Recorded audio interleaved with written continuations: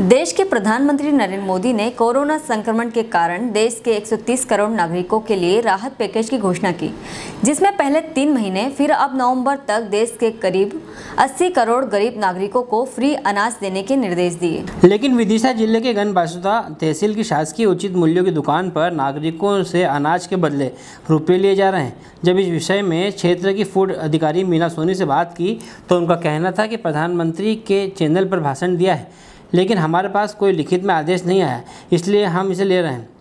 पैसे इस विषय में क्षेत्र के पूर्व विधायक निशंक जैन ने भाजपा सरकार पर निशाना साधते हुए कहा कि इनकी करनी और कथनी में यही अंतर है। कहते कुछ हैं और करते कुछ और हैं।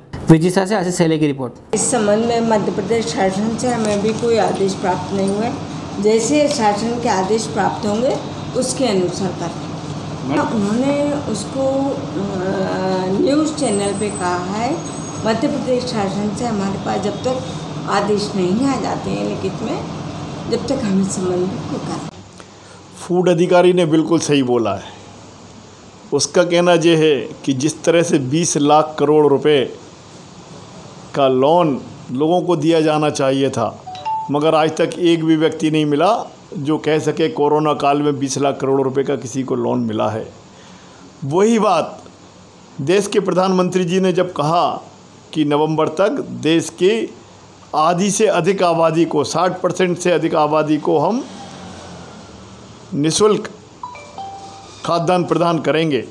हमें भी उम्मीद जगी थी कि हो सकता है मोदी जी इस बार सही बोल रहे हों, मगर फ़ूड ऑफिसर का बयान अपने आप में दर्शाता है कि मोदी जी ने जो बोला था, वह सही नहीं है। यदि कांग्रेस बोलती तो हमारे भाजपा के मित्र बोलते हैं कि कांग्रेस को तो आरोप लगाने की आदत है।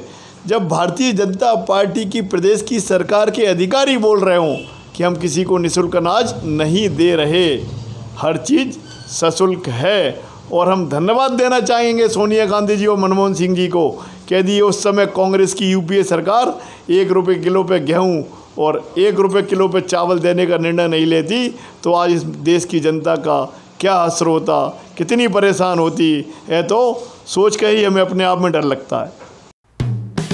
हेलो फ्रेंड्स आप देख रहे हैं हमारा channel S W twenty four news हमारे सारे वीडियो सबसे पहले देखने के लिए आप हमारे चैनल को सब्सक्राइब करें और पास में लगे बेल आइकन को दबाना बिल्कुल भी ना भूलें।